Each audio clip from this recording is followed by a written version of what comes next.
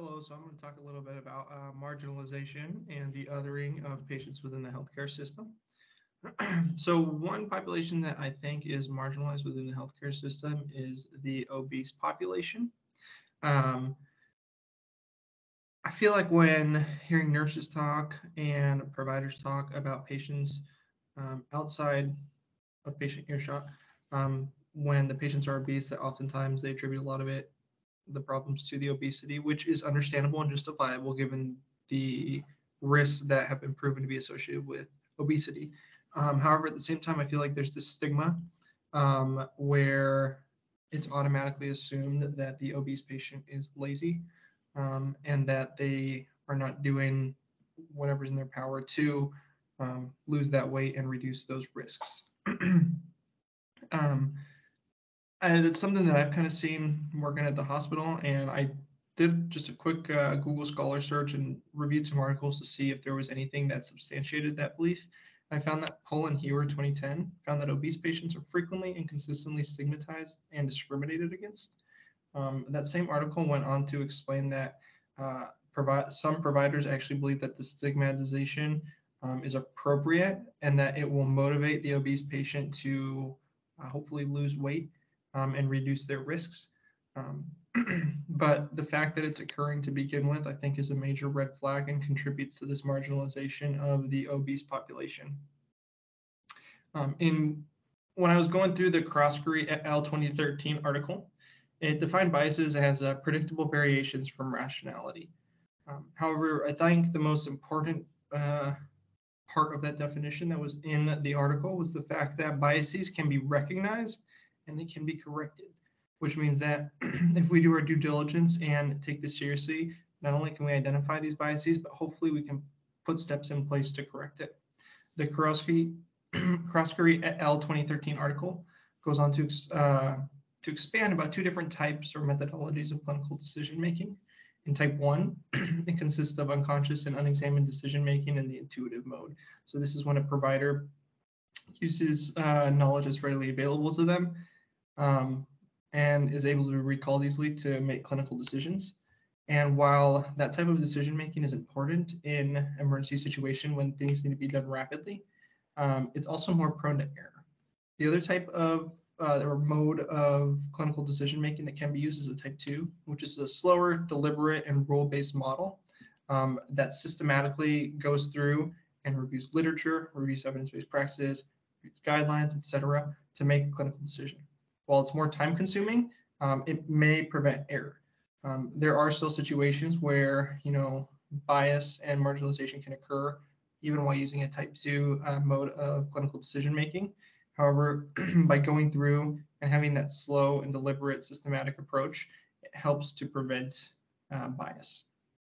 So, um, in kind of, you know, considering this, um, one major way that providers can potentially reduce the bias, marginalization, and othering of obese patients is to uh, change their view from a type 1 uh, mode of thinking to a type 2 mode of thinking. So rather than just initially um, assuming that the reason all these problems are happening is because of obesity and assuming that it's because of laziness or failure to work out or diet, is taking that type 2 mode and slowing down, trying to figure out what's going on, what's the background behind it, what's recommended, and then move from there. Um, I think having that systematic approach is important because it reasons why each step is being taken. I think another major uh, another major step that can be incorporated into that shifting the mode from type 1 to type 2 thinking is to implement interdisciplinary more interdisciplinary or multidisciplinary uh, collaboration. So while we, it's it's clear, it's evident that obesity causes a lot of these issues, or at least contributes to them. If we shift our thinking to type two and incorporate not only a physician and a nurse and nurse practitioner, but also a nutritionist, a dietitian, a psychologist, I think the group together can come together and say, okay, what is what is the reason behind this, and and how can we fix this systematically and how can we ensure that whatever interventions that we do put into effect are in the um, the best care of the patient and are being done ethically and responsibly as well. Um, and kind of thinking about, you know, how does this does this group, the obese population, receive equal care to those who are not in the group? Um, I think on the surface they do, but I think down beneath they don't. I think when, um, you know, the Puhl and Heuer et al or excuse me, the Puhl and Heuer 2010 article found that a lot, um, some of the physicians that were interviewed believe that the stigmatization is good because it helps them.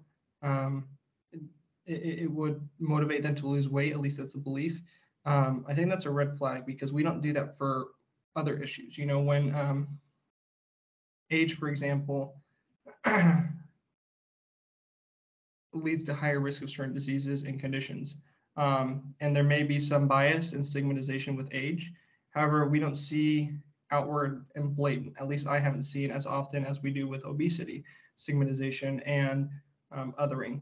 And so I think that they are treated differently. And I think that that type of care from the provider to the patient can have an impact on the patient and whether they believe that they can change or whether it motivates their behavior change. Um, lastly, um, in reviewing the Baah et al. 2018 article, it states that marginalization occurs when one of three things happen, right? So it occurs when there's creation of margins, when which is uh, factors that push some people to the periphery of society, living when individuals live between cultures, and when there are creation of vulnerabilities.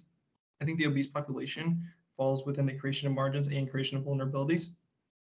Obviously, they're vulnerable because their weight puts them at an increased risk of certain um, diseases and conditions, and providers know that and stigmatize them, as was stated in the Puhl and Heuer 2010 article. I also think that there's creations of margins because because when patients come in and they are obese and there is this bias that it is often due to being lazy, not eating, dieting incorrectly, um, it, it, others them and it, it does push them to the, to the periphery because they are seen as different from all the other people who come in with a normal BMI. So uh, just in conclusion, like you said, I, I think in order to change this, uh, a major first step would be to shift the mode of thinking from a type one clinical decision making to a type two clinical decision making and incorporating multidisciplinary teams to not only um, serve these obese patients with compassion and respect, but also to do so in a way that actually gets to the core of their issue. You know, if the obesity is what's causing all these issues that got them hospitalized or brings them to the doctor, um, we need to be able to address those issues, which can be multifaceted. Um, it could it could potentially be because of diet and exercise um, and genetics, but it can also be you know psychological. It can also be hormonal, like if someone has hypothyroidism. So I think the combination of type one and type two thinking with a multidisciplinary team can help uh, to ensure that um, obese patients get uh, equal, equitable, and a high level of quality of healthcare. So thank you. And if you have any questions, please feel free to put them in the comment section.